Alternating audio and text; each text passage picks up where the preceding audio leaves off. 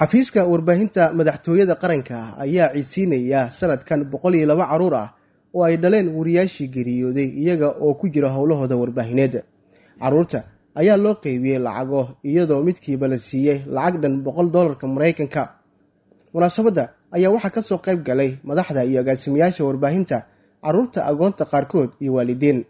Cabdulaahi xirsi iyo abwaan guure oo ka mid ah madaxda warbaahinta ayaa ka hadlay ciidsiinta carruurta agoonta oo ay ka dhinteen wariyaashii ka howlgelayay muqdisho.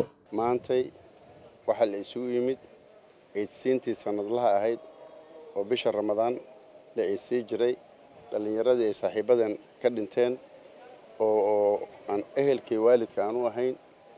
Waxay ahaayeen soddon iyo laba qoys iyo boqol iyo laba carruur ah.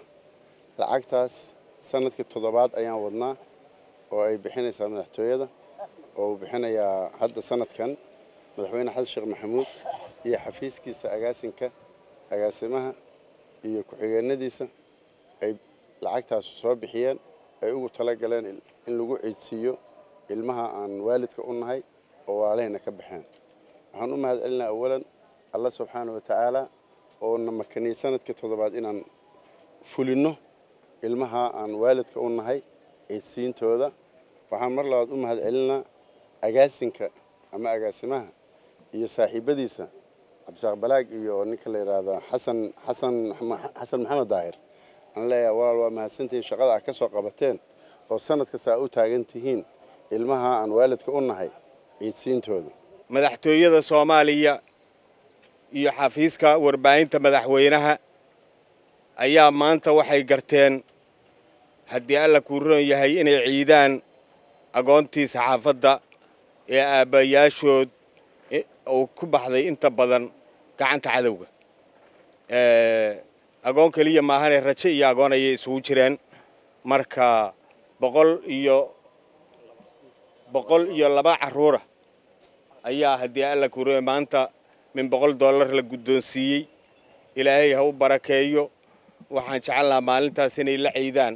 Haddii alla kuu roon yahay ilmaha kale waalidkoodu ay garab taagan yihiin ayaan rajaynaynaa iyagoo faraxsan inay la ciidaan ilaahay ha soo koriyo ilaahay ha noo barbaariyo ilaahay ha noo badbaadiyo intii garatay maanta inay ka farxiyaanna waxaan leenahay halyaygii dadaalee ummaddiisa daryeelee daacaduga adeegaa duca iyo ammaan mudan marka xafiiska warbaahinta madaxweynaha oo ay ka socdaan cabdirasaaq balaag iyo haddii alla kuu roon yahay xasan xasan maxamed daahir waxaan leenahay dadaalkiina idinkana wayd kaga mahad celihaynaa agaasimaha xiriirka warbaahinta madaxtooyada qaranka cabdirasaaq balaag ayaa sheegay in barnaamijkan uu qayb ka yahay barnaamijyada lagu taageerayo carruurta agoonta ee wariyaashii geeriyooday caruurtaas agoonta keliya maahan halka maalinay ciidda ah marka maaragtay waxa ay u baahan yihiin.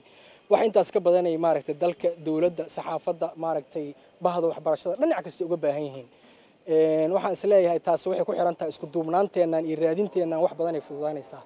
Sidaas daraaddeed waxaan ku baaqayaa in maantay maaragtay aan maaragtay suuro gelinay toddoba sano. Inaan suuro gelin karno si lamida inaan maaragtay howlihii kale aan horey u ballan annagoo isku duuban ka xafiis ahaan ka saxaafad ahaan maaragtay in aan u raadin karno hadday suurtagal tahay adeegyada caafimaad adeegyo waxbarasho si ay maaragtay ugu noqoto maaragtay carruurtaas yareer ay soo koraysa waxqabad maaragtay intaan ka ballaaran ay ugu noqoto wax kale mar kale waxaan u mahad celinaya leeyahay waa mahadsantihiin odayaasha saxaafadda oo iyagu maaragtay dowr muhiima ku leh in maaragtay saxaafadda ay ka bedelnaato mixnadaha kale ee ka jira dalka oo ay tahay ka warqabka. Waxaa intaas dheer waxaa jira suxufiyiin aan saaxiibada ka mida oo qaarkood dalka dibaddiisa isbitaalla ku jira oo u baahan iyagana maantay maaragtay intay nool yihiin in la garab istaago hadday dowlad tahay hadday ganacsato tahay hadday bahda saxaafadda tahay waxaa jira rag badan oo la magacaabi karo oo maaragtay qaarkood inta badan hadda howlahooda ay odayaasha saxaafadda ku jiraan. Iyadana waxaan ku baaqi lahaa annagoo ka faa'iidaysanayna bishaan maaragtay barakaysan ee ramadaan in iyadana maaragtay saxaafadda lagu garab istaago. Hadday noqoto ganacsatada hadday noqoto hay'adaha kale ee dowladda hadday tahay maamulada gobolka.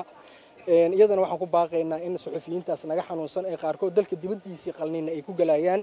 Xaaladahoodana maaragtay dhanka dhaqaalaha aad u adag yahay in iyadana maaragtay dee carruurtooda markay agoon noqdeen liiska aan lagu soo darine hadda intay nool yihiin iyagana maaragtay garabka laga geysan kara garab laga geystana waa ku baaqaynaa sanad waliba marka la gaaro bisha barakeysan ee ramadaan xilligan oo kale ayaa caruurtan loo qaybiyaa lacago si maalinta ciidda ay ugu ciidaan.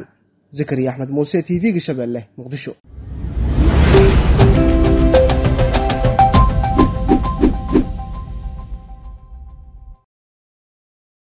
Shirkadda beeko waa shirkadda ugu weyn ee bixisa adeega korontada soomaaliya. Beeko waxa ay koronto siisaa koonfurta soomaaliya sida banaadir jubbaland hirshabeelle iyo koonfur galbeed.